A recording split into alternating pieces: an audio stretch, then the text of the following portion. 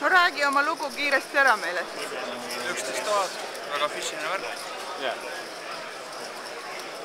no mis sa veel ütled, mis sul lauas on, on keegi tähtis ja tark ka või? no mina olen.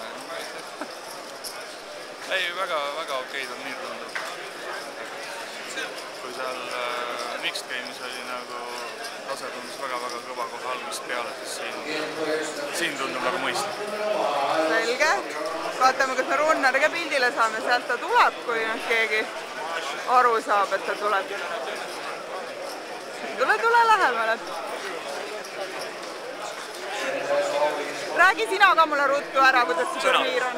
no räägi, kuidas sul läheb, palju sul on? viis pool, nii vähe, miks?